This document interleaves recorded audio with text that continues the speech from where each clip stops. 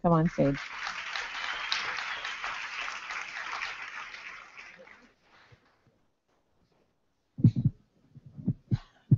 All right, thank you, Laura. Um, so yes, my name is Marc Chun, and at the Hewlett Foundation, we have term limits. We have eight-year term limits on the program side. And so everybody knows exactly when they're going to finish up because they know when their, their, their termination date is. It's a lot easier for me because th this conference actually coincides with my term. So this is the fourth year of the conference. Next week, we'll celebrate my fourth anniversary at the foundation. So it's really easy to chart time with that. So uh, with that in mind, it's a reminder of like how much has happened in the past four years. I know I've grown and learned. I think this conference has grown and learned. And so we're trying to figure out how we pull this all together. So I just have a few comments I'd like to share. And at the foundation, we focus on deeper learning as well as open educational resources. And if you're not familiar with that, it's how we make resources available for free that folks can remix and reuse such that they can improve education. So I'm going to bring those together in my very brief comments today. So let's think about this as a graduation. Four years means like it's like I'm a graduating senior. This conference is a graduating senior. So I'm going to give a few um, graduating remarks to the conference. All right. So welcome graduates, family, friends, distinguished guests, and passionate deeper learning educators in the class of 2016.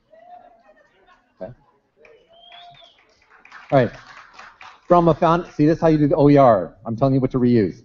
Okay, from a foundation's point of view, we take great pleasure in participating in activities supported by the charitable and the eleemosynary investments we have the honor of providing. In the few minutes I have, I'd like to congratulate this conference for being about deeper learning, but also demonstrating elements of deeper learning along the six key deeper learning outcomes. So I'll just quickly go through six points that I feel reflect the tremendous accomplishments of the conference over the past four years with regard to content. Now, I can remember the first conference way back in 2013 when the team was still trying to figure out how to structure a conference about meaningful learning, but doing so by modeling meaningful learning. It wasn't until the second conference in 2014 when they came up with a brilliant idea of the day-long deep dives where participants' experiences culminate in making something which they then exhibit for their peers. The content has continued to grow and expand, and in the past years, bringing in crucial issues of equity.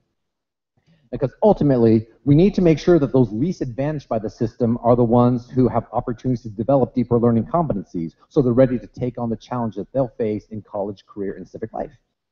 So the reason we're that's the reason we're engaged in this work. I credit the organizers for being so wise and thoughtful in how they focused in on the conference on content that really matters. Second, over the past four years, the conference has demonstrated critical thinking and problem solving. Now, how does a meeting that in 2013 had about 300 attendees go through a growth spurt? And in 2016, have demand increased threefold to have 900 attendees and yet make, yes, you can applaud there, um, and yet make it still feel intimate. Like, how can you grow big without losing a sense of being small? And I think the conference team was um, left between Scylla and Charybdis.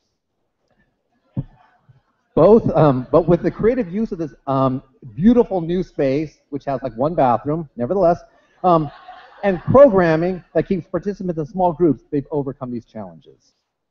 Now, third, with regard to collaboration, over the past four years, the conference has found ways to make this conference a home for many other groups, such as the Deeper Learning Equity Fellows, supported by Big Picture Learning and the International Network for Public Schools,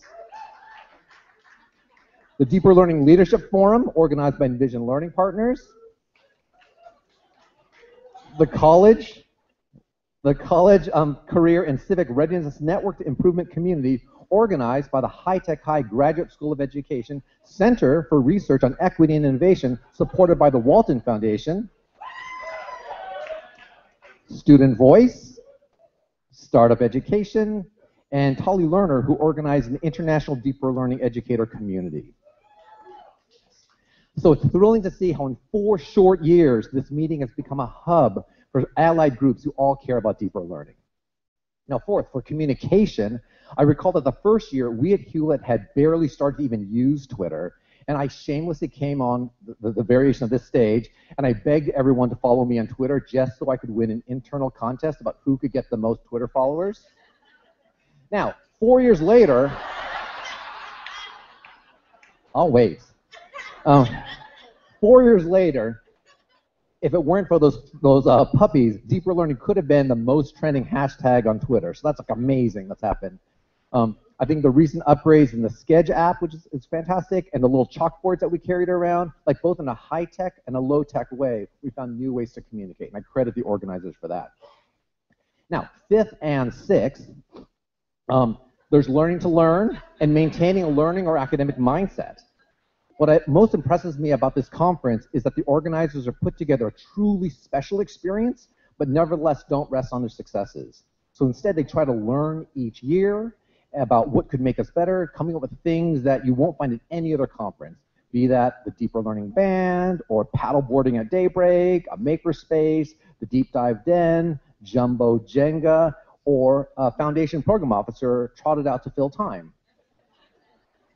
So, um, as I finish up, I'd like to my, express my appreciation to all the folks who made this possible. Um, Haley Marugason, Ben Daly, Laura McBain, Cheyenne Mansky, Carmen Ramirez, La Ortiguera, Randy Shear, my agent, um, and of course, all the students for not only making the not only making the conference run, yes. That's the reason we're here. That's the reason that all this matters. So, um, congratulations, Deeper Learning Conference, for four years of hard work and learning, for facing unexpected challenges, and for graduating with honors. I can't wait to see what you do next. So, as you face the future, let me just impart some words of wisdom. Don't stop thinking about tomorrow. don't stop believing. And don't you forget about me. Thank you.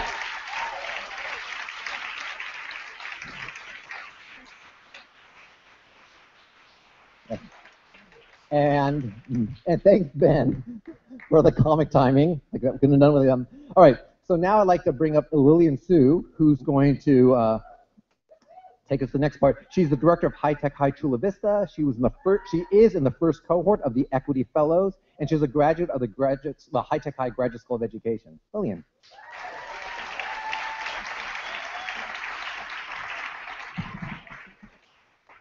It is a joy to introduce you it is a joy to introduce to you this morning Rob Riordan. Rob, together with Larry Rosenstock, founded this miraculous place that we find ourselves in today. His official title is Emperor of Rigor and President Emeritus of the Graduate School of Education, but truly to many of us, Rob will always be our North Star.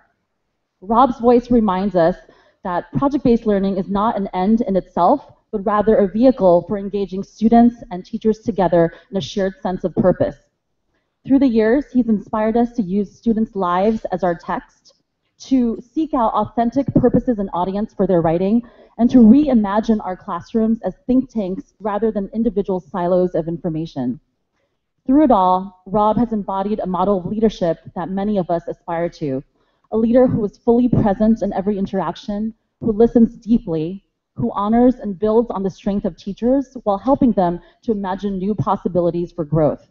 Most of all, he's demonstrated a model of leadership that is unafraid to show emotion because it's okay to care deeply about the work that we do. Most of all, I am heartened and inspired by Rob's reminder that this work is never done. He writes, even the original High has not yet reached the achieved state and probably never will. High is not a model, but rather a laboratory. Not a franchise, but rather a set of principles and a growing body of applied experience. Please welcome me, please join me in welcoming to the stage the wizard behind this laboratory, Rob Riordan.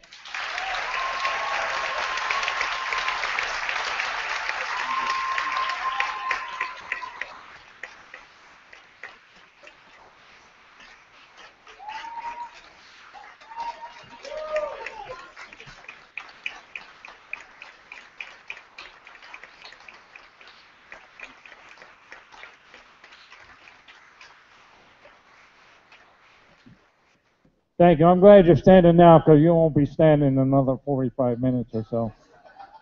Um, this uh, this uh, little keynote here is um, you you must know already. Many of you know already. This is co-constructed, um, but uh, nevertheless, uh, I take full responsibility for anything that may come out of my mouth. Uh, as a just a little spoiler alert. Um, First of all, where's Jesse Brown? There he is. So what it, what it is about coming together is that we come together to break bread, um, as well as to share ideas and all that stuff. We're breaking bread here, and Jesse is the man who brought the bread. So um, let's hear it for Jesse.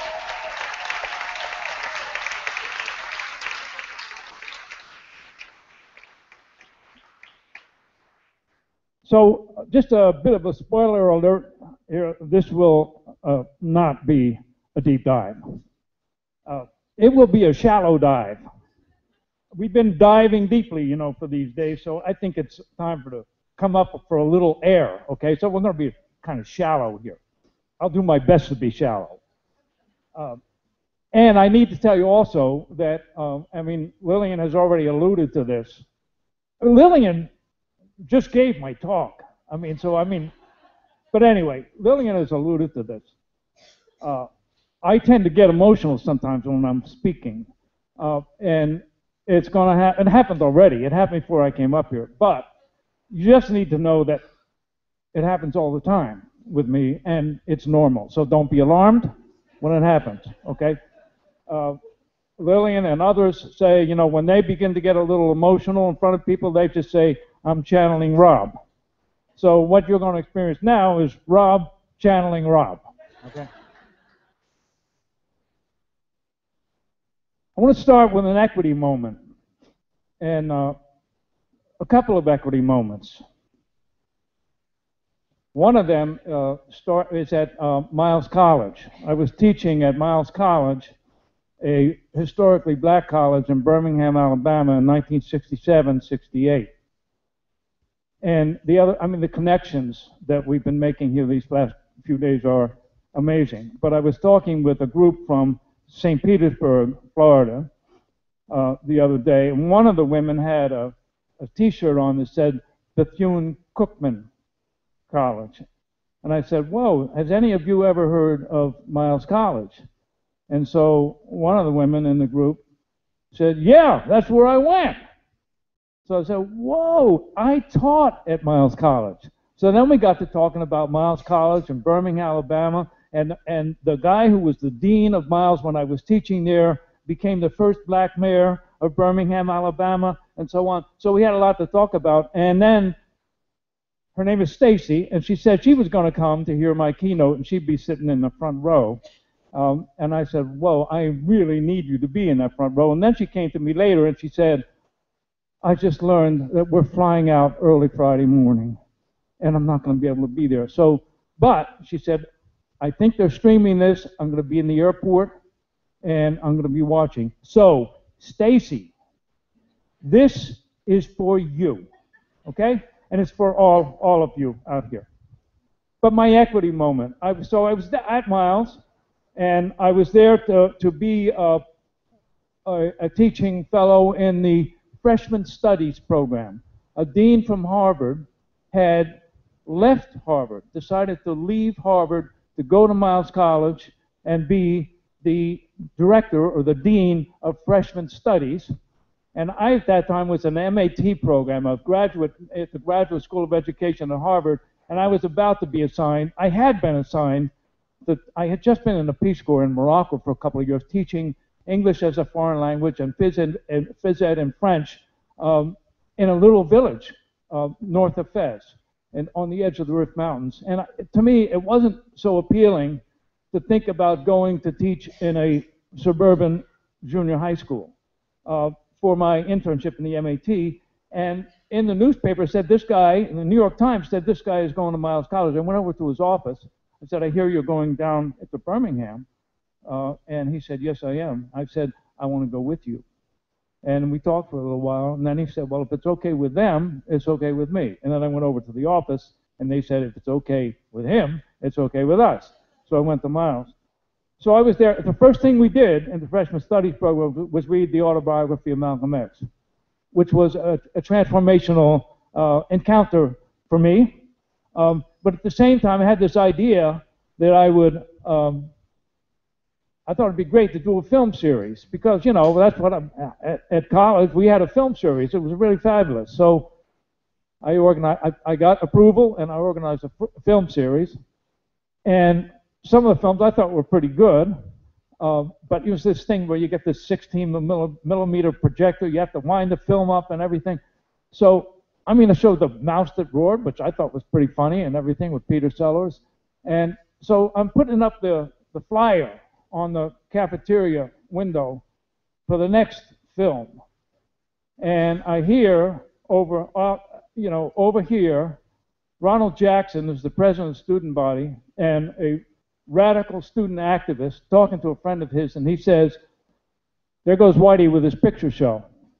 And uh, that was an equity moment for me because for all the stuff that I was so uh, feeling so good about, that here I was at Miles College and learn and doing Malcolm X with students and all of that, he positioned me uh, in a way that hurt, uh, but that in the end was a great gift to me.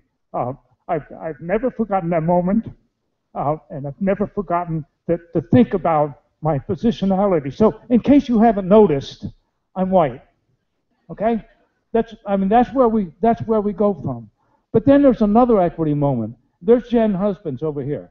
Uh, when we were doing the uh, the Graduate School of Education, uh, she and I decided we were going to collaborate to teach the course in equity, diversity, and design principles, and we did.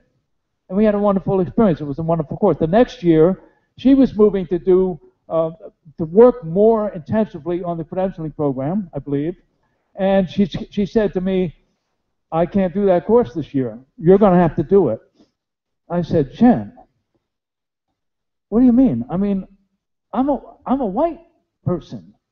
I'm, you're gonna, I'm, I'm going to teach this course. And she said to me, you know what? We need to have white people standing up to address equity issues and to teach courses like this. So I said, okay, that's another equity moment for me, and thank you, Jim. Uh, and it's another instance of positioning. We did, um, so you had all your equity moments, and you had, uh, I mean, you were thinking about them, and you did the Paseo exercise. I was really struck by a comment that uh, Lindsay Hill made, and I was asking around about it. It seems to be more general we did the Paseo exercise, and anyone in those exercises who was a person of color, and they did those identity, identity grids, race or ethnicity was right at the center. White people in the room, it wasn't even on the chart. I think that's something that we need to interrogate. Um, I mean, it's okay, but it's something moving forward we need to interrogate uh, in terms of thinking about who we are. Uh, because as we're engaged in equity work, uh, we need to be aware uh, of that we are also uh, a piece of that work, and that our whiteness enters into that uh, work, and it is part of our identity, um, even though we may think like many tribal groups and so forth, that we're humans and anybody else is a race or ethnicity. That's not the way it works. Um, Ronald Jackson taught me that. Jen Husbands has taught me that. And it's something that we need to continue to, in, to interrogate as we go along. It's a question that goes away, but then it comes back. It's always there, and it's a, it's a, it's a, it's the grounds for continuing interrogation as we move forward. somewhere I'm supposed to, what, what's, oh, okay. Let's see if this can work. Oh, I, I went backwards. Uh, why don't we just look at that one for a while?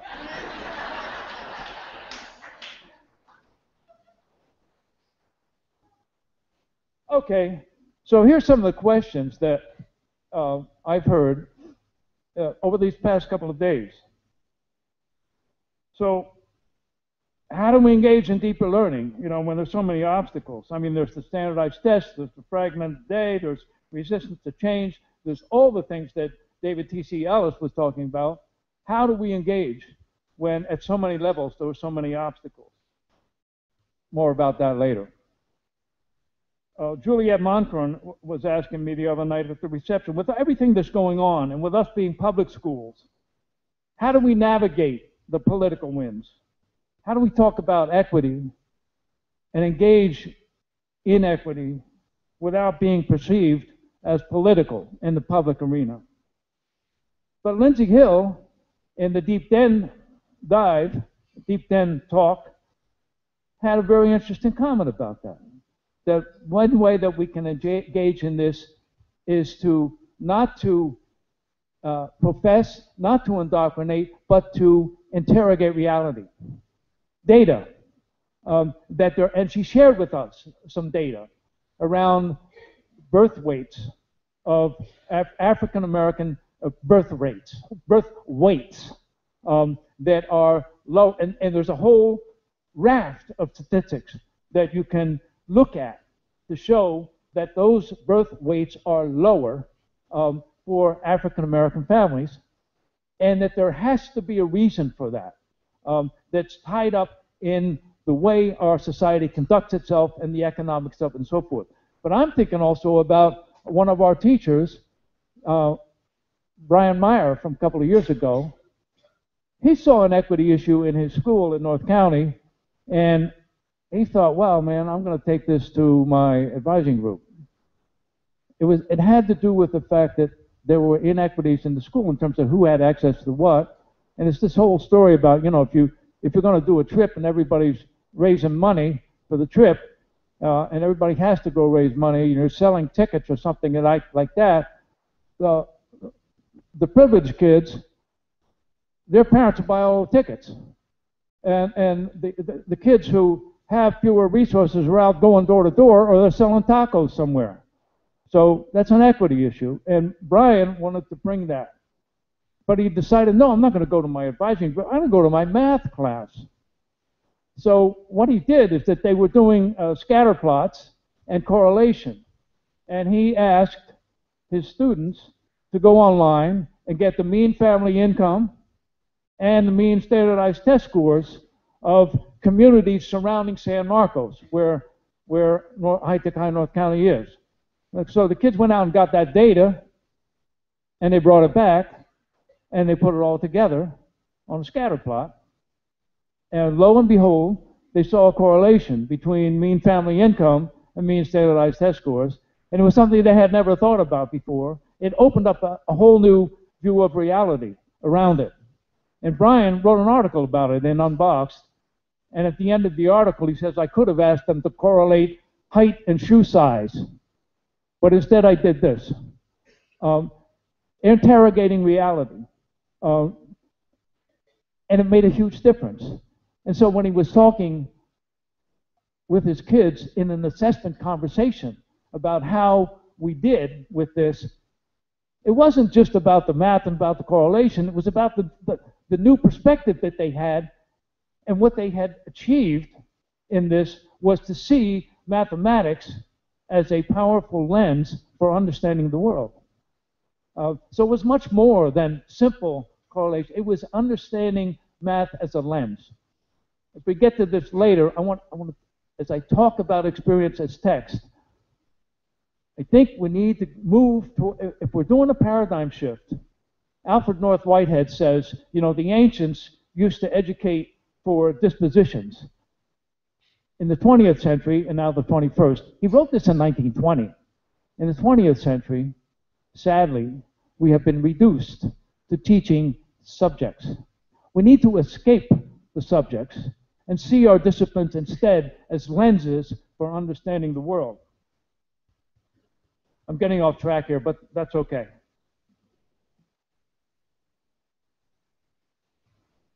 Where are we on the questions? Oh, yeah. How can white educators be white and still reach black students and black males? How can we, and Lillian's question, Thank you, Lillian. How can we take what we've experienced here and not just feel good about it, but go back to our settings and make meaningful and radical change? And finally, a question that is everywhere, what can I do? What can I do? So this is not a Q&A, and I don't have the answers. Uh, but nevertheless, I hope that these remarks will touch upon uh, these questions as we move on. This conference has been about sharing stories, and so I want to share mine a little bit. Uh, I've told you about Miles College a little bit. I went into Miles College, learned a whole lot, transformative experiences, and so on.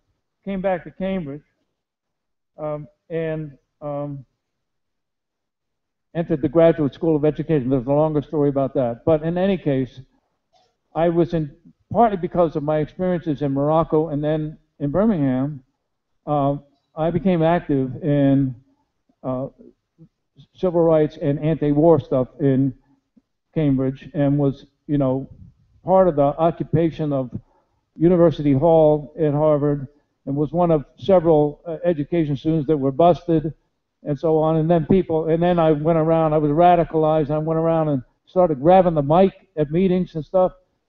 And then I got this call from a friend of mine who said, We would like you to be on the Harvard Educational Review. And I said to him, You don't want me on the Harvard Education Review. And he said, No, no, yes, we do. Yes, we do. Um, and so I went on it. The first thing that happened was that we were doing a special issue on illiteracy in America. And it so happened that Paulo Freire was in Cambridge for a year at the Center for Development and Social Change. And we convinced Paulo Freire to submit an article to our special issue on illiteracy in America. And he submitted, it was the first article he published in English. It was called The Adult Literacy Process as Cultural Action for Freedom. Um, and I had the great fortune to be assigned to be the article editor on that. And I worked with him and with a close colleague, a colleague of his, uh, João da Veiga Coutinho is his name. He was the, uh, a Portuguese Jesuit from Goa uh, and a close associate of, uh, of Paulo. And we went over, it was a poor translation from the Portuguese. We went over word by word by word by word. Um, and it was burned into my mind, and I took it into the work that I engaged in as I moved into a school within a school. Now, TC, you went to the St. Paul Open School, and now while you were at the St. Paul Open School, I was at another hippie school in Cambridge, uh, working with a group of people who were putting the school together. Um, and it was a school, it was a public school within a school, but the kids hired the faculty. Um, and we used, we were into this business of experience as text, and some of the kids put on a revue which was called Nothing, uh, Nothing is Something. Nothing is Something.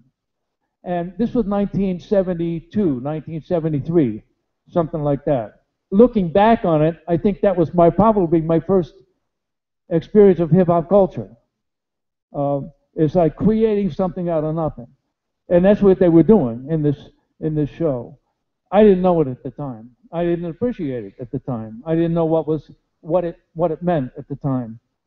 Um, but there we were, um, attempting, and what I had in mind was Paulo Freire the whole time in that school. Fast forward many years, and the opportunity to start High Tech um, stays with me. And I think um, when you look at what's going on at High, you see Paulo Freire. You see cultural circles. You see students attempting to unpack their reality. You see the effort to level out the relationship between teachers and students. Freire didn't even want to use the word teacher or use the word student. And he had to do gymnastics. He called educator and educatee, which was even more cumbersome in a way. But he just didn't want to, did not want to have this hierarchical kind of thing. Um, and it was very important to Freire, the role of the educator in helping the learner to understand the truth of their own reality was to select from that reality mediating objects to look at. And that the, that the learners and the teacher, the facilitator, would look at together. Now, we just saw a mediating object here. It was the video. It was the Skywalk video. There's a mediating object drawn from the reality. And what do we make of it? And what sense do we make of it?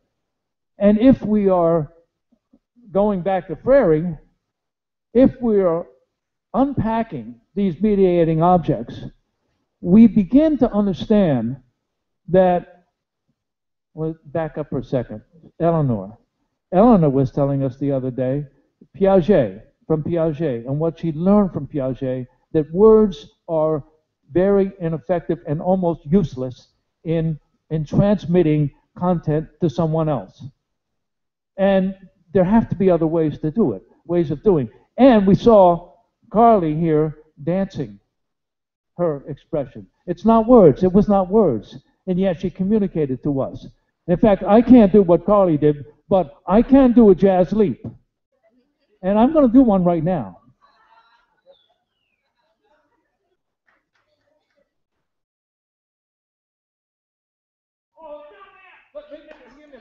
Another try. Oh.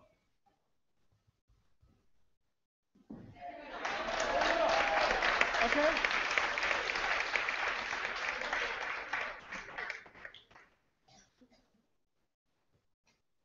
But words don't do it. Words don't do it.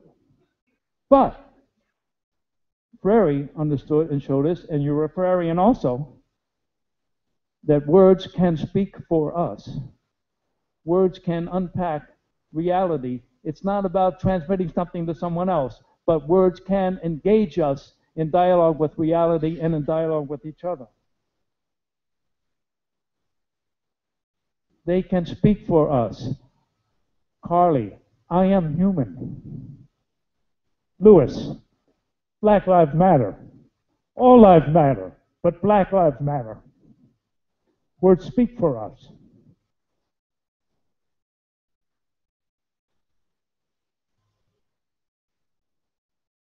When I was back in that pilot school, one of the things that we, I was introduced by an educator whom I revere, named Diane Tabor, to an a program called Experiments and Experiences in Writing. We had a diverse group. We had kids Uh, from the projects, black and white kids from the projects. We had middle class kids. We had kids who would not speak to each other on the street. And our issue was how do we bring those kids together in the same classroom for a writing experience that they can all, ha all have access to and that will not only engage their writings but also build a sense of community. So there was, there was this wonderful, uh, and I taught, I, I ended up teaching that course for 10 years. Um, and it was the, the structure of the course was students would write for one day, in one, on one day, 15 minutes, and then we'd pass them in. And this was the, in the days before computers. It was the day of the ditto machine. I would type them up, and then the next morning run them off on the ditto machine and bring them in, and that was the text. We all read our pieces that we had read the day before, that we had written the day before. And I began to realize that this was not just a write. And, and so it would be a writing day and a reading day. Very simple structure. And kids know, they come in, what's today, a writing day? Oh, yeah, well, I know what's happening. So writing one day, reading those writings the next day. I came to realize oh, what, this was not just a writing course, it was a reading course. Because halfway through the course, I could bring in, uh, the writings had all, every name, the names were attached to the writing. I could bring in the writings without the names. I'd say, okay, so, and we would read someone else, we'd just read them at random. Somebody read a piece, and we, I'd say to the group, so, okay, so who wrote that one? And the group knew who wrote every piece. How'd you know that, that uh, Shelley wrote that one? Well, she always writes about motorcycles, you know? How'd you know that Johnny wrote that one? Well, you know, a lot of big, big words in that one. Length and so forth. Diction, content, um, uh, length of sentences, in other words, style, sentence variety, style of sentences, and so forth. This was, of course, this was literary analysis that they were doing, in effect, in the terms of identifying who wrote um, each piece. So later, when I met Larry, more about Larry later. Are you here, Larry? There he is. Okay. Larry, we just stand up for one second? Yeah. Okay. Okay. Larry and I started talking about when we met, after having been seven years in the same building without meeting, we started talking about what it would be like to have kids working out in this industry and writing about their experience. Having an, a, a humanities class where the text of the humanities course was their experience in the workplace. And they would access it by writing and then share that writing, articulate it and share it by writing. So uh, we thought about that and we were talking about it. And then Larry became director, having been a carpentry teacher, was now director of uh, OCED, Occupational Ed in Cambridge. And shortly after he became director, he got a call from Polaroid Corporation, Cambridge, which then had 13 buildings in Cambridge. And Polaroid said to him, We'd like to do co op with your students because in their building and maintenance shops, electrical, plumbing, carpentry, etc., they were white, male, and middle aged. And they wanted to diversify, and they knew that we could help them. And Larry said to them, Yeah, we'd love to work with you, but we're not going to do co op. And they said, What do you mean? Larry said, Well, we're going to do internships. I'll send a teacher over there to work with the kids. They'll work in the shops, but over lunchtime, the teacher will work with the kids hour and a half in humanities. And they said, okay. And Larry hung up the phone, called me, said, we're in, because that's what we've been talking about. For me, that was the beginning of High Tech High. That was 1991.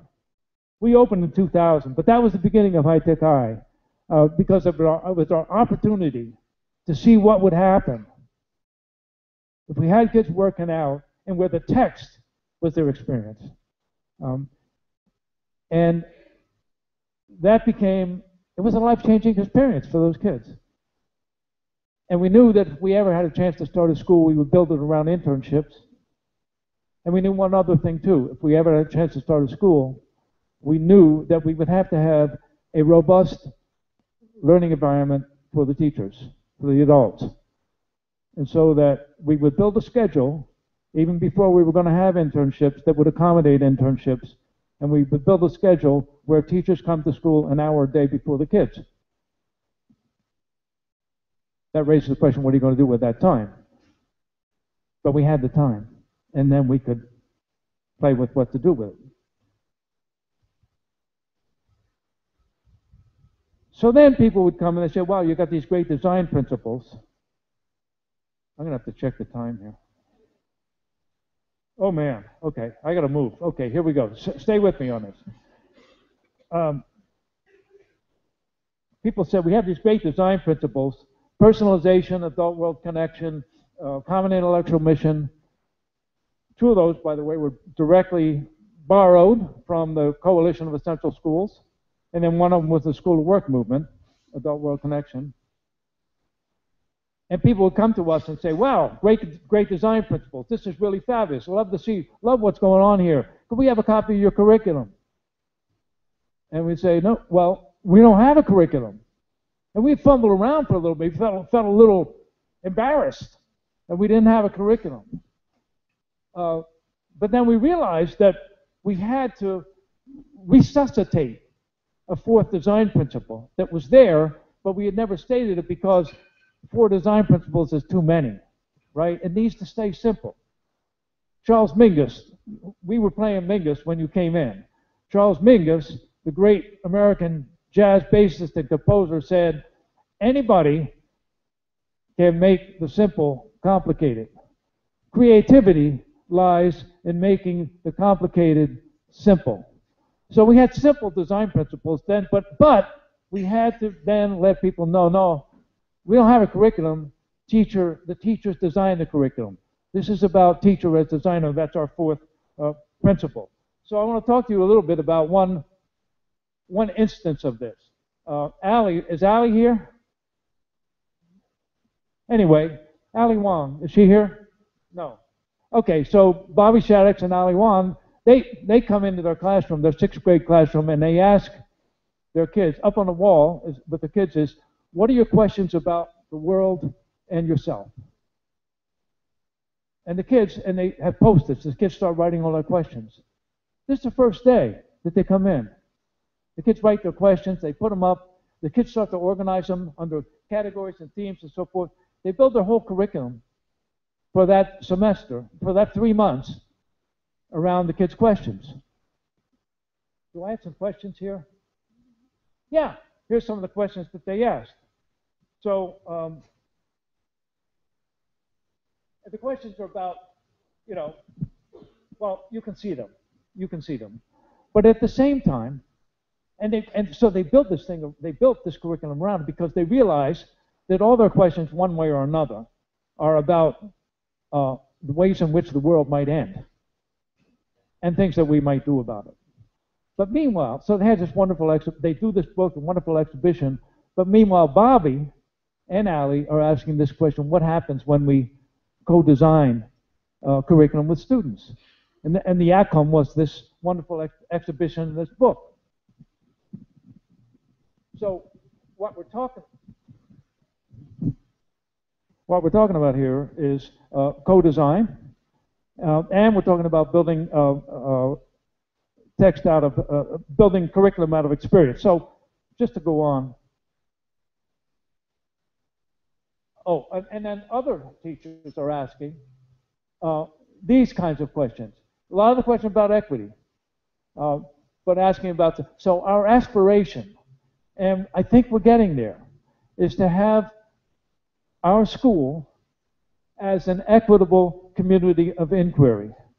All of the questions that you saw in the beginning that we've been asking here, these are questions that belong inside schools, and the people who should be pursuing them are teachers and students together.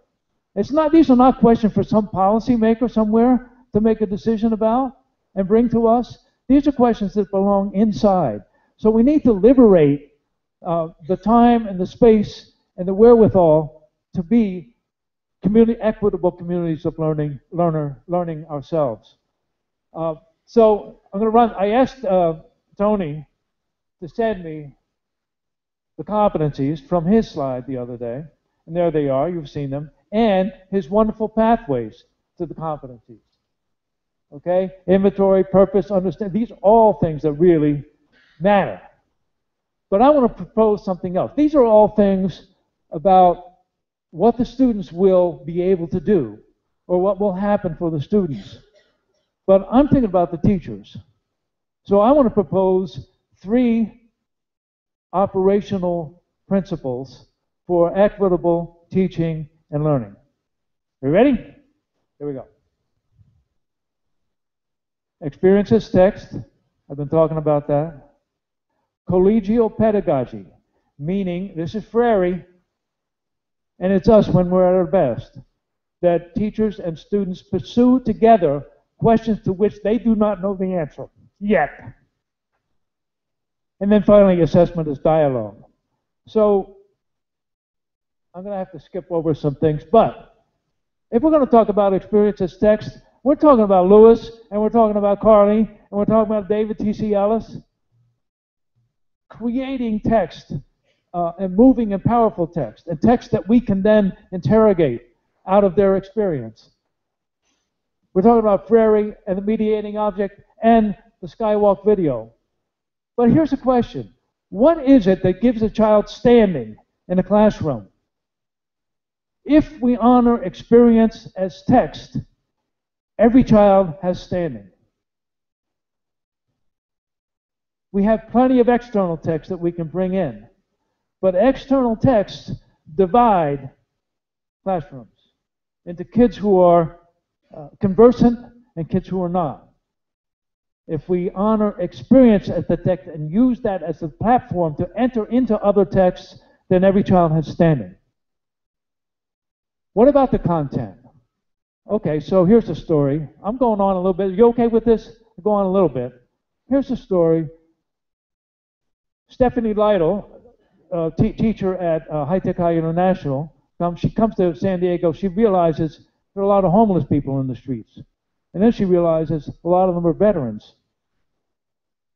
And so she goes to the veterans home or veterans center in San Diego. She proposes a project. She says, I'm going to have my kids come and interview veterans, your veterans, and they're going to create poems out of the words of your veterans, and they're going to create pieces of art to express the experience that's expressed in those poems. So they did that. And the veterans came for an event here where the kids read the poems and then presented those poems to the veterans and the artwork. And the veterans said things like, the first time anybody ever really listened to me about my experience. And the kid said, I had to make this good because it was real and I didn't want to let my, my partner down. But you th- just think, you got a CD from Carly and Lewis the other day. It was a gift. Uh, the product of this process was a gift. But meanwhile, they're reading Beowulf. And they're reading about the scop of the bard who sings the praises of the returning warrior and who is a healer. But not only reading about that, they are enacting that role. They are acting as healers. That's what's happening at HSRA also. In that work, there's a lot of healing that's going on. Um, and when we treat experience as text, oh,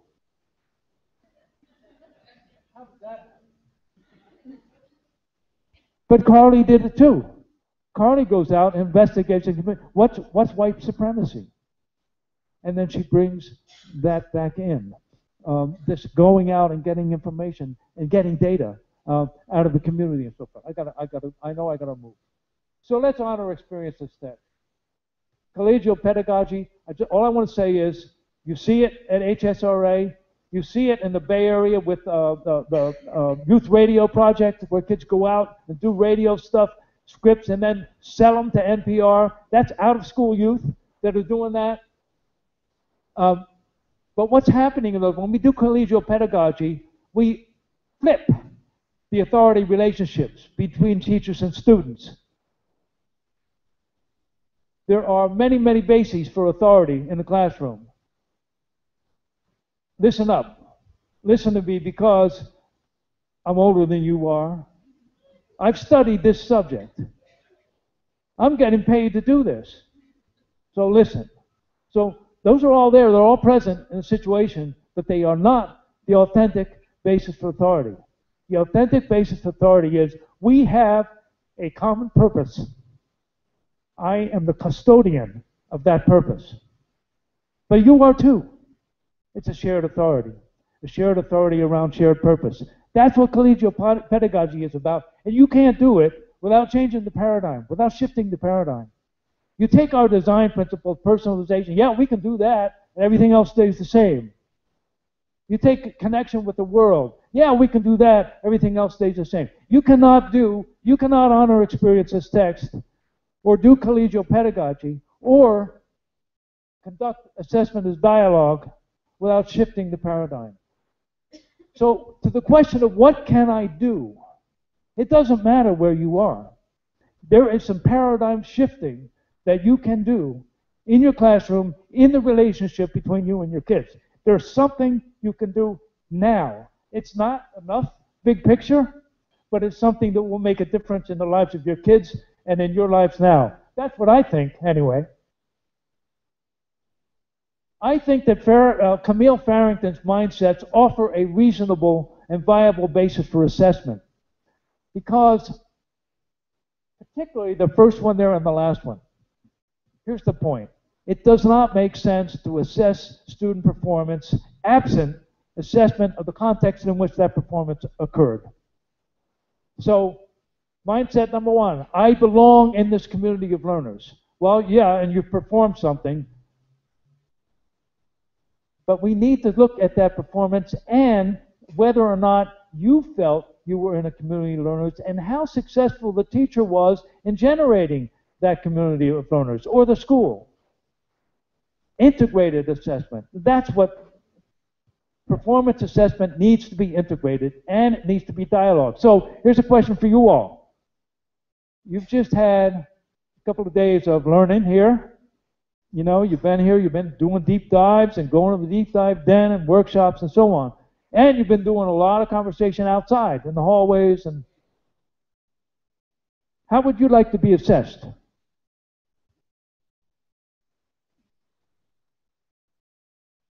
How would you like to be assessed on this learning experience? I could tell you, you know, you went to this workshop in pursuing triviality, and I think maybe you get a B for that. You say, what are you talking about? A B? That was an awful exper- experience. It wasn't worth anything. But we would need to talk about that. Our assessment has to be, and you're doing it yourselves anyway, has to be dialogical and integrated. Okay? Enough about that. So, in conclusion, this is what I was going to say. All right? This is what I was going to say. But um, I've talked with my good friends Davo and Summa from Australia, and um, they've got a better language for it. And their language is move fast, make noise, and break things. Okay? That's what we need to do. I want to end with a couple of things. And I'm not going to apologize for going over because that's just jive. Oh man, I you know I have to tell you my parable. I have to tell you my Kafka. Kafka before the law. A guy comes before the law, and there's a gate and a gatekeeper. And the gate is open, but the gatekeeper is there, and the guy says, "I want to enter the law," and, and, the, and the gatekeeper says, "No, not yet." But he can peek in and see. And the gatekeeper said, "Oh yeah, I see we're doing that. You can go in if you want to, but you know there's another gatekeeper, and then another one after that, and then another one after that, and each one is more powerful than one before. I can't even bear myself to glance, even glance at the third gatekeeper. But he gives him a chair. He says, "You can here, take this chair. You can sit by the gate." So he sits by the gate. He comes back periodically. Not yet. Not yet. Not yet. Days pass. Weeks pass. Months pass. Years pass, and he's still sitting by the gate thinking that it is better to wait for permission than to enter on his own. Finally, he's about he's reaching his dying day. And he has this revelation. And he is his body is going stiff and his eyes dim and he calls the gatekeeper over. And the gatekeeper comes and he says, Everyone strives to be before the law. Why is it that in all these years I'm the only one who has come to this gate? And the gatekeeper says, This gate was assigned to you and you alone. I'm going to close it now. That's the end of the parable. I mean, it's Kafka, so what do you expect? I mean, it's pretty dark. But we all have our gates. We might think about that a little bit. I mean, what's the gate that's that I'm sitting by? I'm, I, and I just want to say the reason I asked Larry to stand earlier is that to me it's been a blessing, and I think to all of us at High Tech that we have worked with someone who was not content to sit by the gate, um, and who was ready to go through or ready to go another way around.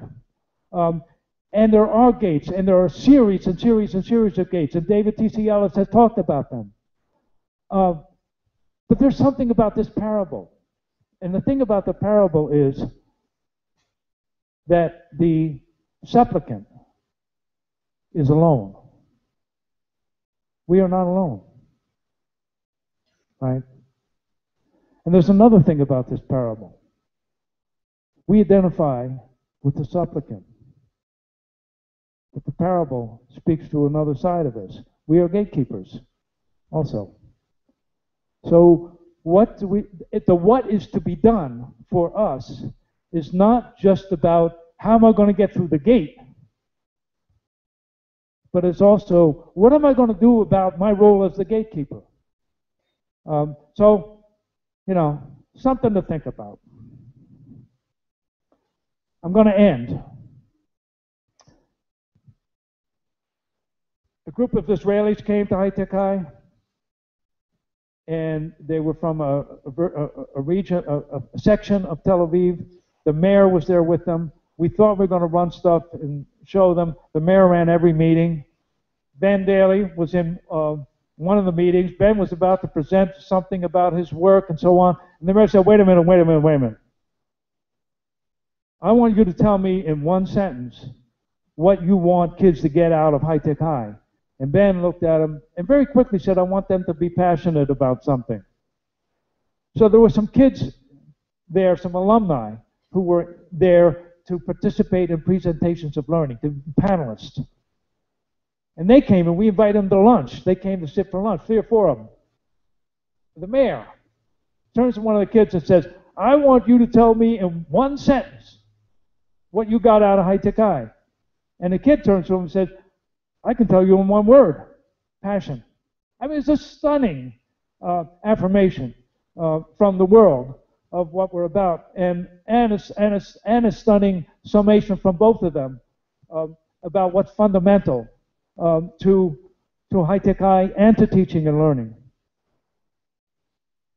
Howard Fuller, one of our heroes, says this High expectations are crucial, but to reach our children, deeper feeling must be present. It's called love. I believe with all my heart and soul that we cannot teach our children if we do not love them, believe in them, and respect the families and communities they represent. In her book, Return to Love, author Marianne Williamson commented on the fairy tale The Frog Prince. This is Marianne Williamson. The fairy tale reveals the deep psychological connections between our attitudes toward people and their capacity for transformation. In the story, a princess kisses a frog and he becomes a prince. What this signifies is the miraculous power of love to create a context in which people naturally blossom to their highest potential. Until we love them, we cannot understand them. And Harold, uh, Howard, Howard Fuller continues if we do not love our children, we cannot understand them. If we do not understand them, we cannot reach them. If we cannot reach them, we cannot teach them. So, what is the nature of this love? I get emails every day from uh, Galen Guengerich of the All Souls Unitarian Church in New York City. And today, this one just dropped out of the sky on me.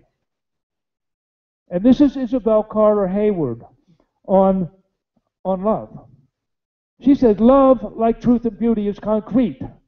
Love is not fundamentally a sweet feeling, not at heart a matter of sentiment, attachment, or being drawn toward.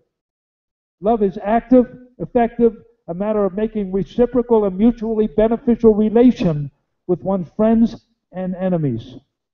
Love creates righteousness or justice or here on earth. For this reason, love loving involves commitment. We are not automatic lovers of self, others, world, or God. Uh, we, we're not love machines.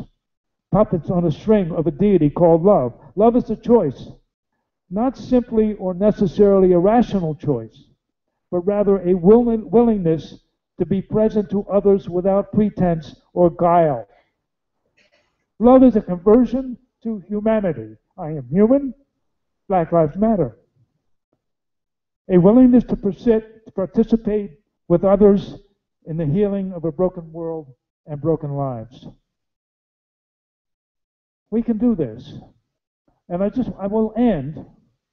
It's, I want to go back to say one thing that is, move fast, make noise, and break things. But also, there's a proverb in Swahili Kutembea peke ni vibaya, pamoja tuende. It is bad to walk alone. Come, let us walk together. Thank you.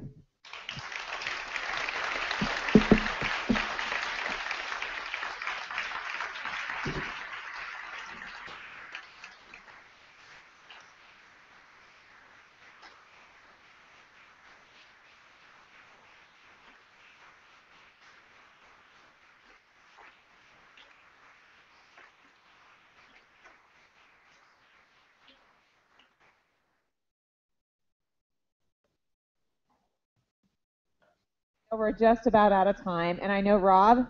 I know many of you have questions, but he's also because he is Rob. His response to me was, "Do you want to do questions?" And he's like, "I'm in service of them." And so his his ethos was not what I need, but what this audience needs right now. So if you want to ask him some questions, let me know. I want to thank him and all of us um, we are just out of time. Um, and now I'm crying, and I was trying to be joyful and exciting. Now I'm crying. Um, but I want to thank the many, many people that are on this stage our friends from Hewlett, the Walton Family Foundation, the High Tech High Graduate School of Education that we're in, um, the HS, HSRA, amazing friends and fellows, our good friends Tony and TC and Carly and Lewis, Dario and the many people, the CDs they produce, Talib, who just shows up out of nowhere, thanks to Tony, um, Sound Image, who made this amazing sound stuff happen. I have no idea how it works, but they made it happen. Um, and lastly, I want to take a moment to just thank the entire DL Dream Team, as we like to call ourselves Ben, Cheyenne, Randy, Haley, Larry, who's running around, um, Carmen, Law, um, our wonderful video club, Gabe and his many crew, Bonnie, who's been tweeting and getting all of our ideas out on getting smart, um, and our facilities crew, our catering staff, our IT staff, and lastly, of course, all of our students who have made this event really possible, and probably most importantly, all of you for showing up. When you put on a conference, it's like you're having a party. You're not sure if everyone's going to come and if the food's going to be good.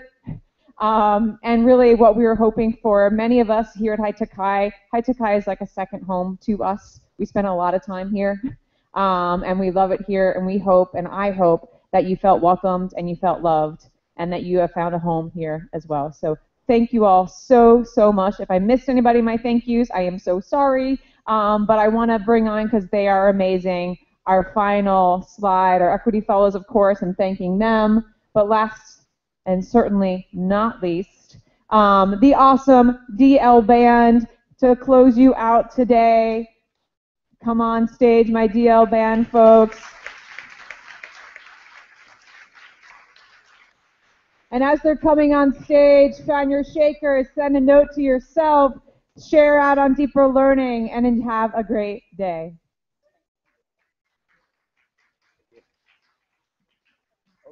Okay, we get to go out loud and proud. One last chance. Get vocal. You can stand if you want to shake those legs out a little bit.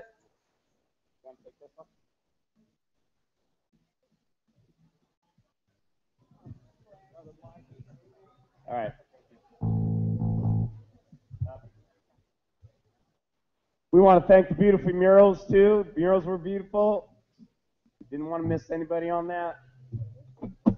Okay, let's get equitable. Here we go.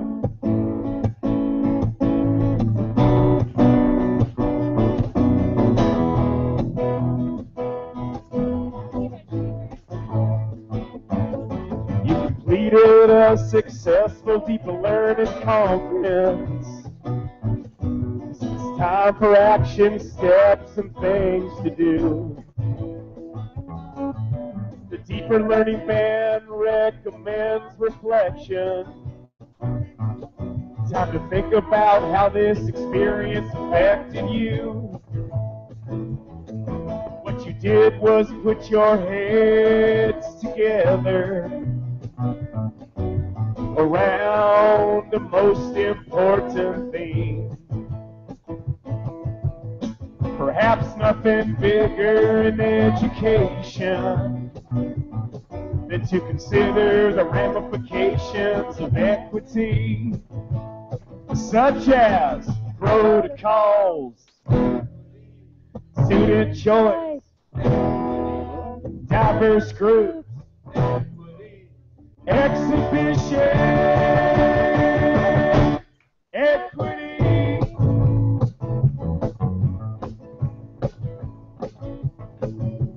Maybe it was Rob Riordan or Tony Simmons.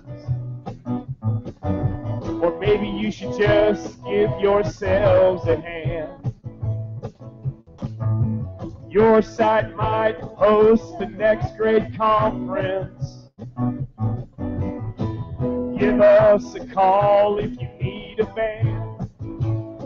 And we'll sing about scaffolding, critique and revise, equity, differentiate, equity, Everyone. deeper learning, equity.